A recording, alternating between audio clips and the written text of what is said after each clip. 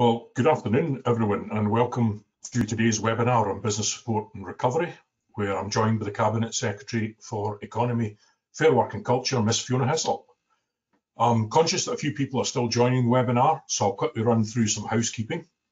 Everyone's been placed on mute to avoid background noise, and we will record the session to make it available later. We've been taking questions in advance of the session, and thank you for those. It was great to see so many come in, and while we may not have time to cover every question we received, we will follow up with links to appropriate resources and share feedback from the session with local government, Scottish Government and our business support partners. A Business Gateway representative will be tweeting insights live from the Business Gateway Twitter account during the session. And as we all know, businesses are facing significant challenges as a result of the pandemic. And despite this, they've shown incredible resilience, innovation and adaptability in the face of extreme uncertainty. The virus, as we know, does not respect borders, sectors, holidays, Christmas, weddings or funerals, and tackling it has been a priority for our public health services over the last nine months. This has, as we all know, resulted in a number of shutdowns as we limit gatherings and contact with others. For businesses, this has posed a number of difficulties as they navigate uncertain waters to survive the crisis. As one of Scottish Government's business support partners, we're acutely aware of this and our local government and Business Gateway advisors have been working across the country in partnership with other agencies to deliver vital grants and funding to firms so that they're able to make it through this crisis. We're grateful to the Cabinet Secretary for giving us time out of her busy schedule to join us for this session, where we will briefly reflect on what the last nine months have been like, how Scotland might look to recover economically post-pandemic, and how Scottish Government is working to support businesses all over the country over the coming weeks before we move on to your questions. Cabinet Secretary, welcome. Thank you very much, uh, Hugh, and good afternoon, everyone. And I very much welcome the opportunity uh, to speak to you all directly about the work we're doing to support businesses through this difficult and challenging time and to discuss our plans for Scotland's uh, economic recovery and obviously hear from you and, and, your, and answer your questions. The coronavirus, as we know, result, obviously has started as a health crisis, uh, but obviously has quickly become an economic one. Uh, everyone's had to make significant changes to the way that we live and earn a living in order to keep the virus under control. And I know that businesses have made many sacrifices over this last year, and I want to thank you for what you're doing to help keep us all safe the Scottish Government is continuing to do everything possible to assist. Uh, there's been to date uh, 2.3 billion pounds committed in that initial economic response. Uh, in recent weeks, we've invested a further 93 million pounds in recent packages of business support to help mitigate some of the financial challenges. And later this afternoon, and I'm afraid the timing means I can't really uh, pre-declare the, the information, but I will try and give you some steer. Uh, the Cabinet Secretary for Finance, Kate Forbes, will provide an update on the 2020 uh, 21 budget position, but she's also including an announcement on a winter package of business support. And I know that uh, Business Gateway advisors have worked with other agencies to help deliver this support and we really appreciate everything that's been done. It's been quite remarkable how we've managed and obviously with our local government uh, colleagues to help support and uh, you know obviously there have been frustrations along the way but obviously managed I think at, um, at great speed to, to help support businesses with brand new packages of support that previously would have taken months and months to deliver. Uh, this week has been a significant milestone in our fight against the virus with that initial stages of the vaccination programme getting underway. I think my, my constituent was one of the, the medics that got the first vaccination. Um, and while this gives hope for the future, there is still a, a long road ahead and it will be a complicated process. We'll have to continue to live with the impacts of the pandemic for some time to come. At the end of the Brexit implementation period with will further uh, obviously exacerbate these issues and, and, we still as we speak unless anybody's got intelligence they'd like to share with me uh, we're not quite aware if there will be a deal and uh, obviously in terms of a deal if there is a deal. Uh, for many businesses uh, it will be important to help build a greater resilience over the next few months and uh, this will support a period of living with the virus uh, finding that effective balance uh, that allows for our economy to continue to re-emerge and grow whilst adhering the necessary public health measures. And while considering the current climate, it is essential that we keep the longer term future firmly in our minds. Uh, I do believe that we can rebuild back in a, a better way, uh, a greener, fairer and well-being economy uh, that makes the best use of our skills and also in digital and new technologies. And I'll be able to set more out about our plans during discussion. Uh, but recent announcements pledging more than 11 million pounds to help SMEs adopt digital technologies and improve digital capability and the obviously the opening of the Scottish National Investment Bank are all things which helps us to focus on that transition to net zero uh, and I think that hopefully will make our intentions clear of our direction for recovery.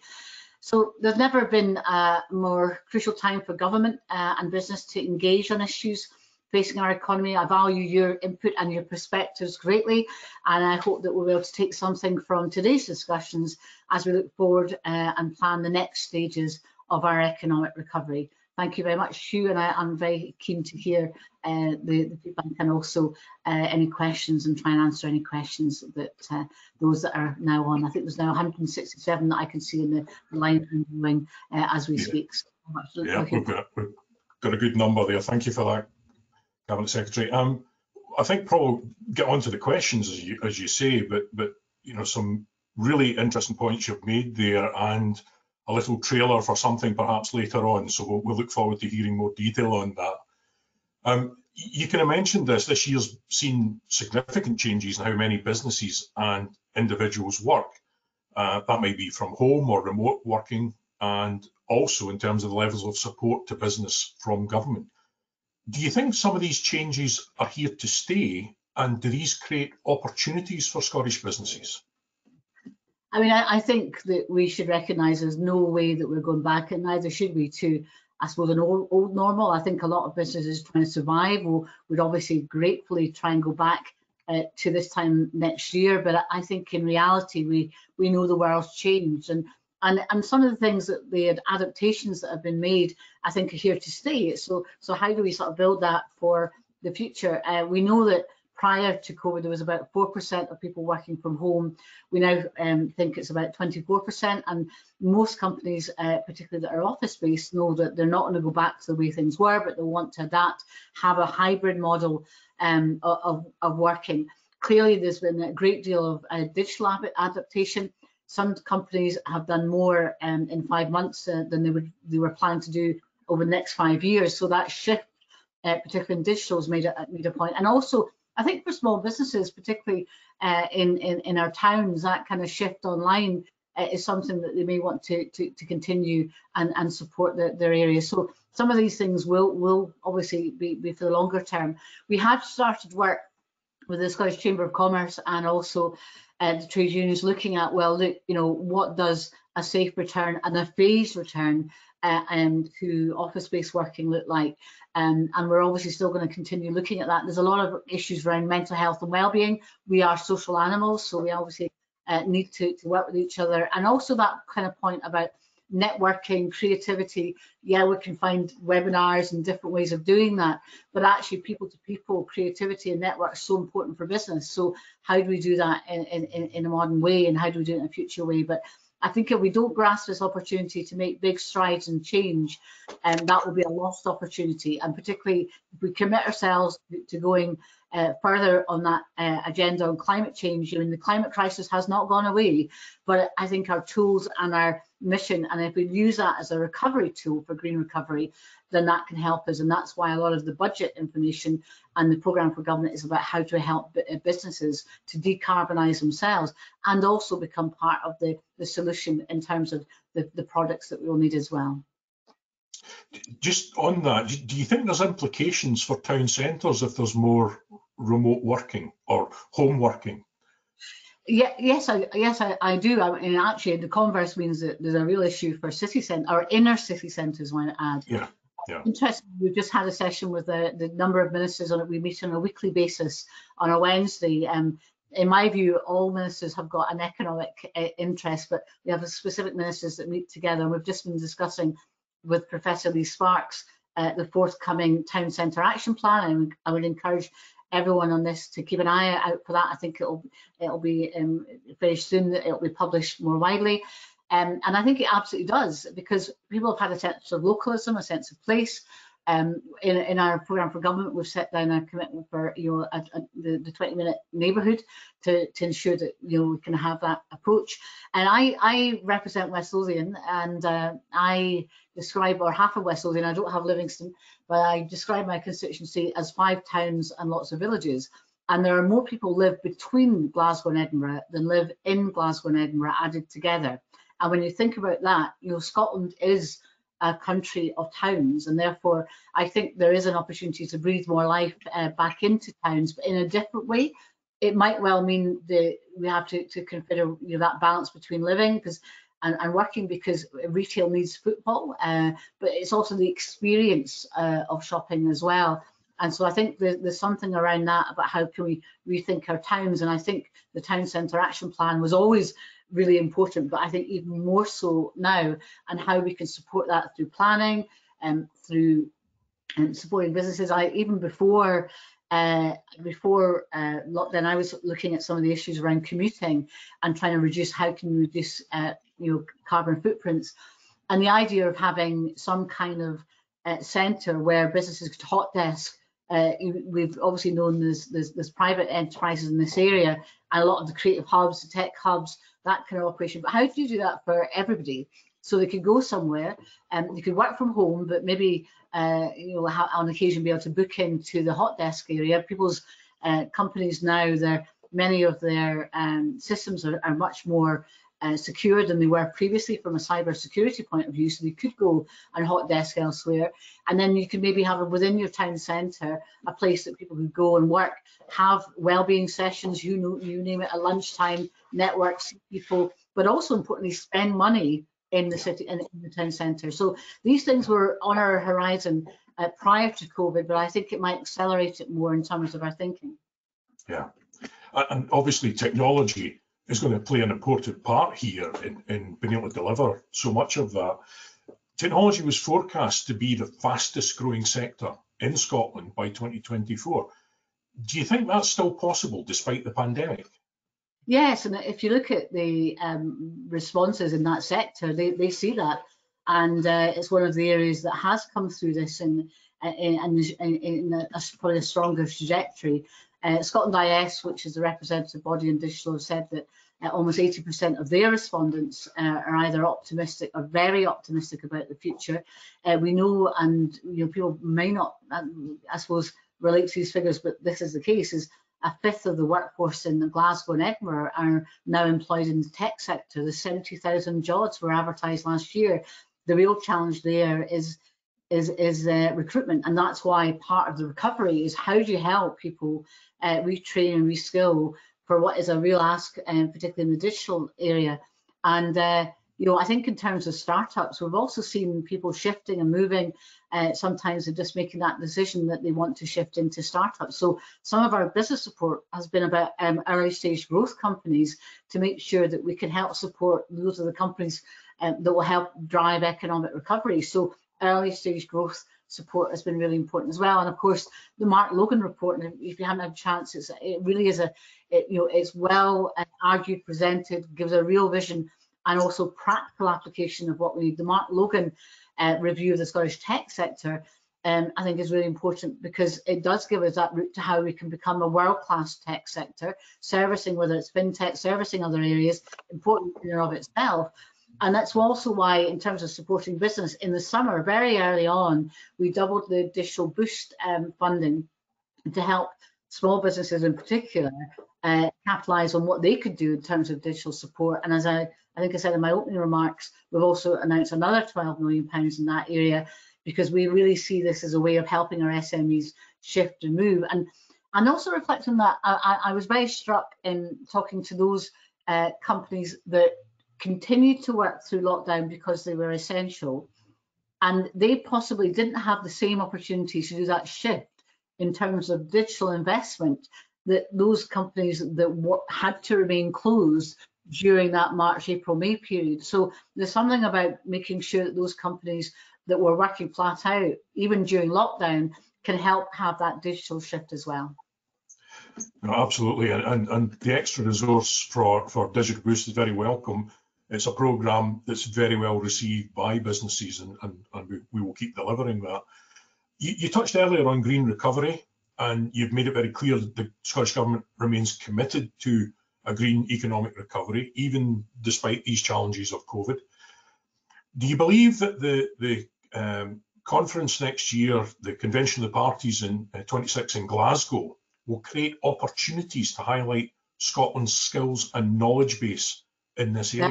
Yeah, absolutely. I mean, and it's not just the the holding of COP26; it's the lead up to COP26 and what comes out of that. And obviously, during the meeting itself, the UN will take over. There'll be the negotiations um, there'll be everybody will want to advertise what they what, what, they have and what they're capable of.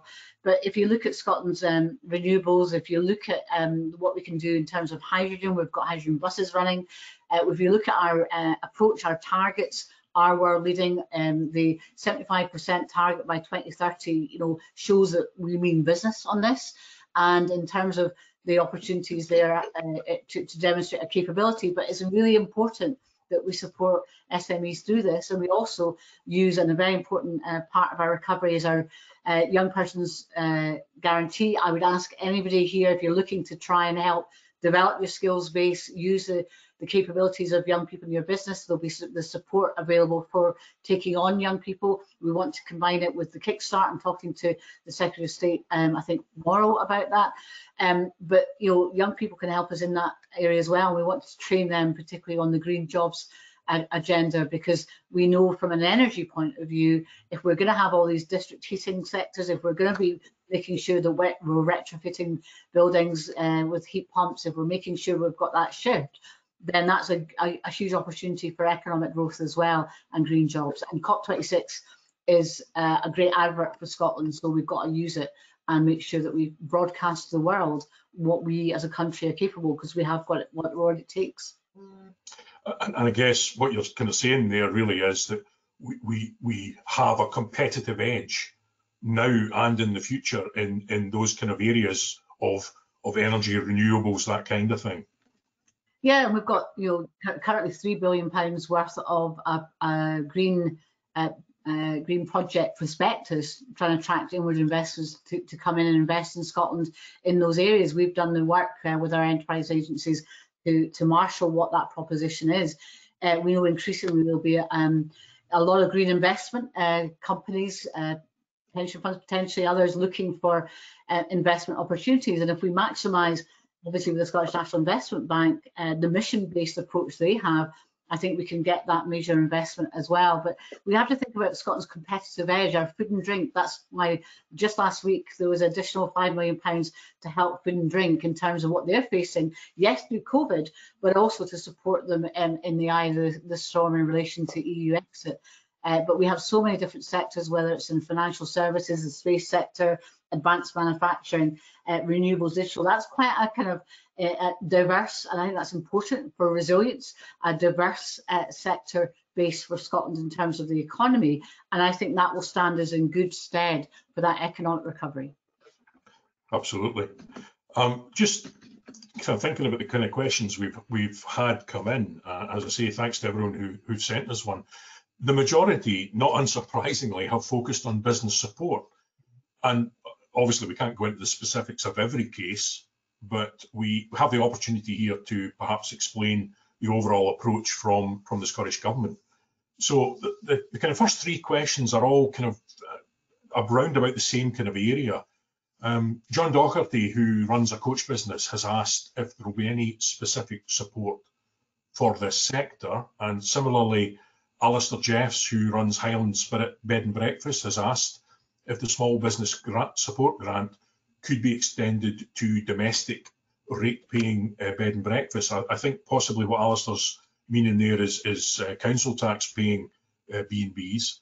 Yeah. And we've also been asked if self-catering businesses who are not in level four areas and therefore don't qualify for funding through the Strategic Framework Business Support Fund but have been impacted by travel restrictions will receive any further support. What, what's your thinking across those those three questions? So some some of those areas have already received funding, and uh, uh, for example, bed and breakfast in that situation with three million pounds of support previously. Um, coaches, I know, have got real is issues because in terms of that inward bound uh, tourism sector, uh, but obviously coaches can be used in different ways. One of the first things actually I did um, from a constituency point of view, uh, which helped, I think, influence uh, swift movement by our education uh, secretary, uh, the DFM, in, in, in, working with councils, was to ensure that all the contracts were honoured from March up until the summer for uh, school school school use of coaches because obviously that was uh, very important for that sector. But can I reassure all three areas, uh, coaches, um, B&B with the domestic rates, and also self-catering that are not uh, in level four areas but are impacted from that, that they should be hopeful that the announcement this afternoon and the, the DCO which will come, uh, I hope very quickly from that because obviously people um, need, need to plan their own resources and finances, that there will be good news uh, for those areas. And can I just say, I know this is not about replacing income, none of this can help replace lost income, but it is about trying to help you survive and get through so we can build into recovery. But I hope we, hopefully that will give you some reassurance. I know it's a long time coming, and I know there's been uh, obviously concern around it. Clearly, in terms of our, our financing as a, a, Scottish government, we have to, to, to live within the means that we have. Uh, we can't borrow in the way the UK government uh, can do, or indeed offset and obviously use the uh, had their use of the Bank of England in terms of that generation of the additional financing. So the UK government is currently, I think, a trillion in terms of debt. Um, but in terms of the provision, the one billion pounds consequentials that, that were only a few weeks uh, ago announced, remember that was from a delay from an autumn budget statement that was meant to take place. So the Chancellor had three months to prepare on that. We've had a couple of weeks to try and make sure we marshal those additional resources particularly into business support, but it can't be completely because we know we'll need some of that funding for health needs and indeed potentially other uh, EU exit disruptive uh, business uh, uh, requirements in the January to April uh, period. But I can reassure you that we have been listening. Uh, there'll be a major tourism and hospitality announcement by Fergus Ewing on the back of the uh, the, the, statement for the winter business support package from Kate Forbes. But those uh, three specific areas, um, you should be pleased with what you you hear in the next few days, and uh, and hopefully the payments, as I said, will will, will follow uh, soon after. Because I know we announce things, but you need to get them processed. And as I said, we're working very closely with councils who are under a lot of pressure issuing a lot of the regular strategic framework business support grants and what you're hearing uh, today will be on top of that. Okay, that's that's good. Um, business rates and support for the self-employed company directors have also generated questions. Uh, Liv Barber runs a, a walking tour company and she'd like to know if there are any plans to support businesses who don't pay rates because they don't have physical premises. Yeah, so uh, th this has been a challenge throughout COVID. Obviously, these are uh, genuine businesses that, that need support. Um, the newly self, the, so the UK government obviously had the self-employed scheme. Uh, what we did was we were conscious that there were people who were newly self-employed, and so therefore we ran a first tranche of funding uh, back earlier on uh, during the pandemic, and we've also released another 50 million pounds that will go to councils, uh, and they will reopen uh, that newly self-employed scheme. Um, one of the issues, and it's really hard to say this to people that are that are genuine businesses themselves, you'll hear more and more about fraud, and unfortunately, I think you see that you're already seeing some stories around around that through the furlough aspect and, and misuse by some of that, and therefore the domestic rates and being registered for domestic rates is, is, is a very secure way for councils to give money that, to to companies that have got that track um, record and, and, and recognizable. And obviously, uh, people who have businesses that don't have premises, it's more problematic. However, what we can do, and, and local councils know, um, and the Business Gateway uh, itself uh, will know their local businesses much better than any, any central scheme will do. So therefore, the discretionary fund that's been provided, and that's 30 million pounds that is going out to councils as we speak. That will allow councils to target their funding to the businesses they know are, are not fitting the, the models or the sectoral models that we've had. So I'm a bit more hopeful that a bit more intelligence and responsiveness will be able to help the, the sort of company you just talked about, which is walking tours, which everybody will know about is genuine, but the idea of um, sending funding into people's personal bank accounts causes issues. Uh, so therefore the evidence of bank accounts, uh, business bank accounts is really important. But I know that also brings some of the issues. One of the things we're also trying to do as part of economic recovery is make sure the banks start to, to help support new businesses uh, and with new business bank accounts as well. So that's another area. Okay. Uh, just on that point there about uh, so much of the support has been based on on the rate system.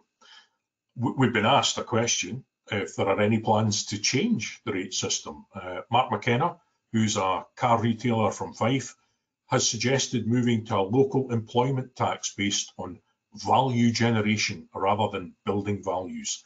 Is this something the government would consider? Well, I've got to be very careful. I thankfully I'm not in charge of the rate system. I can ha hand that over to my colleagues, the Minister for Finance, Ben Macpherson, and the Cabinet Secretary for Kate Forbes. But I do appreciate the challenges that the rate system has has for people. Uh, we've obviously had the Barclay review, uh, which we're in the process, obviously, of, of, of implementing. Uh, but I think I, have got to be careful, especially if you're recording this. Now this might be used if I can. Evidence. Maybe more circumspect. I do think people might want to think about different ways of looking at things. We've had debates in the Parliament before about land value, and I suppose it's hmm. where value is generated. And I think the, the point about the question is really thoughtful because what is it that's important to us? What is it that we actually value? And if jobs in it, and we've set out as part of recovery, our recovery is a national mission for jobs, then you know the value of, of contribution to jobs is really important. So um, I think that's a kind of point where uh, you know is there a balance? And, and of course, if you think about it, remember the question about city centres, uh, where obviously you've got a bulk of maybe large numbers of thousands of people uh, being uh, being employed. Uh, clearly, the rate system, because city centres tend to be you know higher rates, uh, actually balance out the number of people that are employed. But obviously, if we've got different ways of where businesses is conducted, then obviously the wealth generation that can be then used to to, to reinvest into local areas ha has to be thought through. So I'm I'm probably giving you a politician's answer of not trying to over committed on something, but I do think you know thinking differently is what the future will and uh, will, will be will have to expect. So, but I'm not uh, no immediate um, uh, plans to change the, the, rate system, but obviously I think that's a, a, debate that will run and run. Okay, no, that, that's helpful, thank you. Um, Samantha Stewart from Motherwell has asked if there will be any specific grants for directors of limited companies who work from home. That's a, a, a real challenge, and it really is one that I, I think I've got a firmly park in, in, in the responsibility of the UK government because they can obviously work with HMRC uh, we one of the things that uh, has been challenging to us as the Scottish Government in terms of setting up schemes of support, we've got to use either the enterprise agencies or councils, as we've heard, to be the administrators of support. We uh, investigated very early on, precisely because we we also shared concerns about the lack of support for that particular group, whether there would be access to HMRC to be able to run anything ourselves, that's not been um, possible or agreed by the UK government. Um, obviously, you know, the directors pay themselves by dividends. In the past, that's had advantages for lots of different reasons for them, but it has been problematic. Clearly, they are able to furlough, but as many will say to me, look, I just paid myself a minimal uh, salary, so therefore even getting furlough as an employee, if I put myself on the books, is very limited. But I do think that's something that um, the UK government can and should try and readdress. And those they've said it's it's too difficult. I don't think it is. I think if there's a will, there's a way on that. And remember, these directors, they, they're, they're the generators of economic and enterprise activity. So therefore, you know, that's something that you know really concerns me. But I, I'm afraid I'm having to to to play the place the responsibility firmly where, where it lies, and that's with the UK government. But I can say that we have uh, consistently, and I've done it directly in meetings like this with the the, the Chancellor of the Exchequer when we had some of the recovery uh, meetings with other Secretary of States in, in uh, UK government. I've impressed on him the need to try and address those that are missing out, that have fallen through the cracks of support. And uh, you know, that's something that we continue to do. Yeah, okay. Uh, uh, we, we kind of touched on this earlier, but the, there was a question from Bill Patterson we, when we were talking about town centres earlier. We, we realised and we've said the pandemic has clearly had an impact on our town centres, closure of retail and hospitality premises. And Bill, his fear is that businesses will start to move out of cities like Glasgow due to less footfall and wonders if there's any support to help business owners to pay their rents. And he's asking are there wider plans to regenerate our town centres. And we, we, we started talking about that earlier. Is, is there anything more you, you want to say around that in response to, to that question? So in, in relation to the rent issue, that was something that you identified very early on as being problematic uh, and potentially really causing difficulties for businesses. Uh, obviously, they were getting support on a whole variety of, of areas within the CBILS, the bounce back, um, the if you're under, you know, some of the under uh, 51,000, the, the, the the grant scheme there. So, uh, but uh, for a lot of inner city centres, they haven't been able to recover because the footfall's not back in. And interestingly, although the Edinburgh has been in, in level three and the shops have been open, if you look at the footfall figures, you can see that actually it is still suffering. And until uh, Glasgow moved into level four, was was still the um, the, the, most uh, impacted by by lack of footfall. So the trying to come to um, some sensible agreement and, and, talk to commercial landlords in particular has been something that I've uh, encouraged my colleagues to do very early on. And again, I would refer to the, the Minister for Finance, Ben Macpherson. He's been very good at trying to kind of marshal some kind of solution that would help commercial, the commercial rent uh, issues facing businesses because obviously it's in the interest of commercial landlords to have a continued source of income. So therefore, you know, being uh, um, overly, uh, I suppose, uh, harsh in terms of their expectations would not suit their interests. I think there's still a job of work to do on that going forward. But I, I think we've got to recognise I don't think the city centres are going to be the way that they were previously.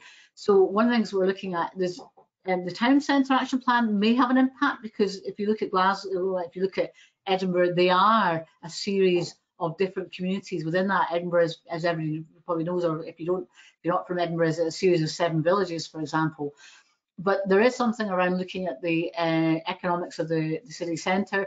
If we can't get, uh, we can't get office workers in? Can we do more in terms of uh, housing? Can we make it, you know, return to people living in city centres, for example, to provide footfall and obviously uh, work for um, the, the, the, the, businesses themselves. So one of the things we're, we're looking at with the City Centres Alliance, which brings together uh, Scotland City uh, cities, uh, this is called sorry, the City Alliance, bringing together the councils representing Scotland cities, is to see if we can work with them to think collectively what that might mean. And also that might mean resources, but as I said, things are, I don't, I, I can't promise that. I don't have a figure as to whether we've got um, a, a, pot of money we will at this point in time we can use for that. But it would be the sensible thing to rethink what cities are and, and to, to think about what additional support might be needed for either individual businesses to diversify or indeed to generate more demand in some kind of way for city centres. Okay, no, thanks for that. Um, just coming back to the green economy uh, and the opportunities that might be there, um, Rona has been in touch with um, the national unit and would like to know if there are any plans to create facilities so that waste and recycling could be processed at home, and by which I think she means in Scotland instead of abroad, yeah. and if this would be an opportunity for local businesses to take advantage of. Yeah, I mean, I think we need to to think more closely around the circular economy more generally. And uh, there are a number of companies that want to locate in Scotland that can carry out these facilities. But as with everything, we should be looking about procurement and what does that mean? How can we help support uh, domestic businesses to capitalise on those opportunities? So um, I do think, again, you know, my colleague, uh, uh the Environment Secretary, Roseanna is very keen on this. I think people are really concerned from a global point of view that we're exporting as, as much as we are. So therefore the recycling domestically for all of us businesses, but also um, in, in our households is, is, is, is critical.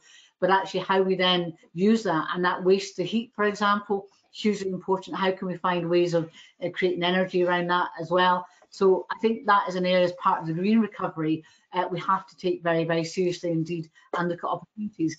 And, and a lot of these areas, particularly if it's either councils from waste, uh, where it's from the government, where it's from the NHS, for example, and we've shown how we use uh, procurement from the NHS and repurpose during the pandemic for PPE, um, and now we're, we're self-sufficient. Uh, we've got the capability to produce what we need in Scotland of PPE because companies diversified into this area. We supported them to do that. I think energy and waste is another area where we can try and make sure that we use the, the procurement uh, uh, focus to, to, to be able to do that um, more domestically, but also create jobs um, in the process as well. Okay, thanks. Um, come back to the, you mentioned earlier uh, digital, the importance of digital. So, and, and the fact that businesses have relied greatly on digital technology throughout the last few months. So quite a few questions coming in from people asking what plans the Scottish Government has to deliver improvements to broadband across Scotland, and if there is any funding or grants available to companies so they can develop their business through digital technology, specifically to improve productivity and resilience in 2021. Okay, so we're touching some of this um, already, but if, if we're touching on the um, the, the, the, the, productivity aspects, that's exactly what the digital boost doubling of funding was in the summer and then just announced, I think two weeks ago, the 30th of November, and another 12 million pound approximately, uh, exactly to help companies um, improve their productivity through digital application. So again, something if people want to get in touch with Business Gateway, I'm sure you can you know, direct people uh, in, in, in, where they can find that um, aspects. There's a digital development loan which enables businesses to borrow interest-free between 5,000 and 100,000 pounds specifically for improving digital capabilities and digital skills.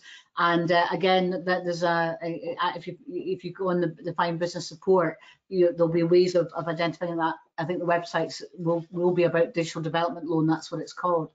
Um, in terms of uh, broadband, uh, you'll know that in terms of telecoms legislation, the UK government's responsible um, for co digital connectivity. However, we know it's absolutely critical for enterprise and we're responsible for enterprise. So we have uh, not accepted the, the limited uh, rollout uh, that was planned by the UK government and we've invested 463 million pounds, which is a considerable amount of money, which could have gone into other areas. But although it's a reserved area, we, we knew how critical it was.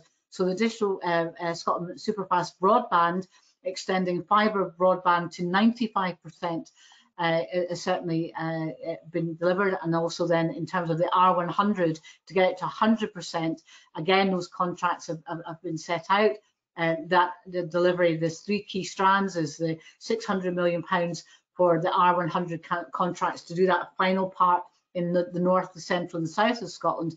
And there's also a Scottish uh, broadband voucher in those places where we can't get fibre.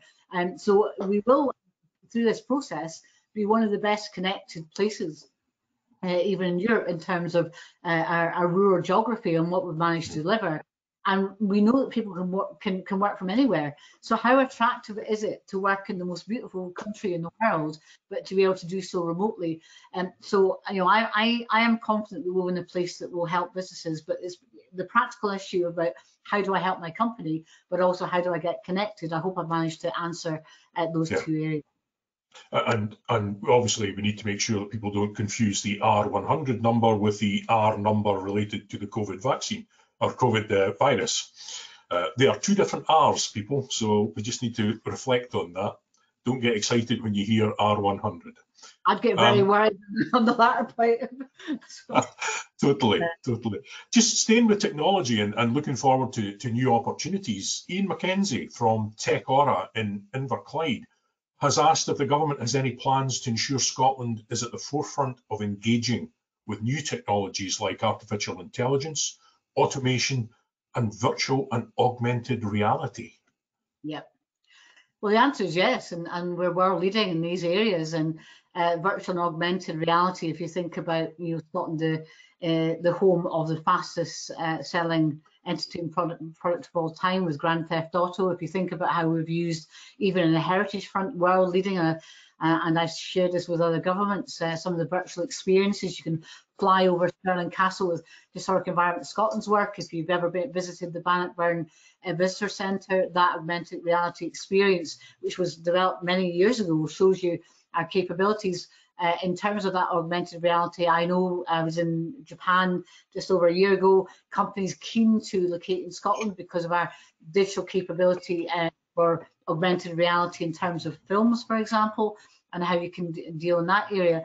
But on the big issues on data, um, clearly uh, the data lab work, the if you look at the Edinburgh uh, growth deal, for example, huge aspects. How do we work with data and to do so in, in, in a strong way to help in terms of business opportunities. So uh, the location of a data center is was part of the advisory group on economic recoveries uh, recommendations. I strongly believe we need that to make sure the connectivity globally uh, allows us to then use that data in, in a very uh, intelligent way in terms of economic um, aspects. So data centers have to be very much part of our infrastructure response. So uh, remember, I talked about that strength that Scotland has. You know, we've got the people, the skills, and we've got that range and depth of uh, different sectors where we are world leading. And certainly in the AI way, uh, in those different areas, we can do that.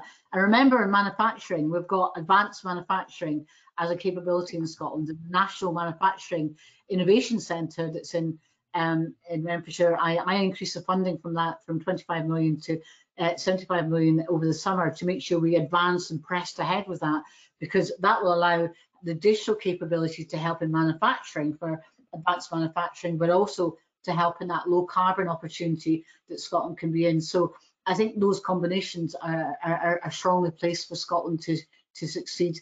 Uh, and I think it is part of our future. Though I must say, I, I you know, I, I, have some variability in terms of what that's going to be. I quite haven't quite got my head around driverless cars yet, but I'm sure uh, somebody will persuade me at some point in the future. Uh, interestingly, Uber have decided to get out of driverless cars. I saw the news report yesterday on that. Um, I think we have time for just one more question, and that is from Elaine, who runs an events company. And she's asking if, in light of the vaccine, if planned events will go ahead in springtime next year, April, May, with reasonable numbers present. And if not, will events companies be informed now to avoid potential waste of charitable funds as they continue to plan. Yeah, I mean that that, that is a, a real challenge because we don't know what the impact on the vaccine will have on spread. Uh, we can we know that it will obviously, as I mentioned earlier, have an impact on the hospitalisation. Uh, the I actually spoke with the chair of the industry-led uh, expert advisory, the events uh, expert advisory group, just yesterday, and uh, that is exactly what we're talking about. How do we get a route back for events, how can we plan? Because obviously the bookings of that has to be well in advance. Obviously, we can get down the levels, you can have events, but they're not necessarily uh, able to be sustainable financially.